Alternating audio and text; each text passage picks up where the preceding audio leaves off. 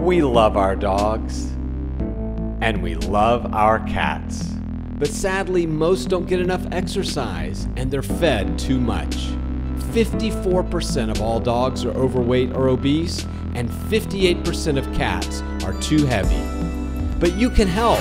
Join our survey.